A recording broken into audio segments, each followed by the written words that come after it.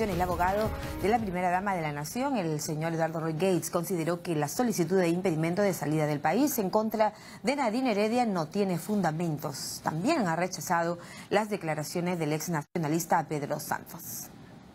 Bueno, nosotros estamos esperando la notificación correspondiente en donde se fije la fecha y hora de la audiencia y también estamos esperando conocer cuáles son los argumentos del Ministerio Público, porque lo que se ha hecho de conocimiento hace unos días es la formalización de la investigación preparatoria, pero el requerimiento mediante el que se solicita el impedimento de salida del país recién se ha presentado, tengo entendido, ante el juzgado el día viernes.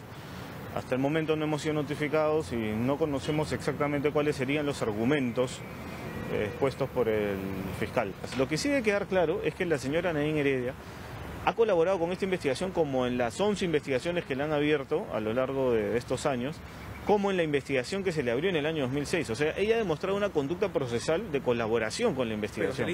También ha salido la versión del señor Pedro Santos de que le dijeron que lo citaron a Palacio y que lo retuvieron por cinco horas para que él reconozca que había hecho. A ver, mire, si es que eso hubiera existido, lo primero que uno tendría que preguntarse es por qué no se denunció en su momento. ¿Por qué no se denunció? Si es que realmente existió una retención de una persona, no, eso es falso, son, son declaraciones totalmente falsas. Y en todo caso lo que hay que tener presente es que quien responde por los fondos ante la OMPE es el tesorero del partido.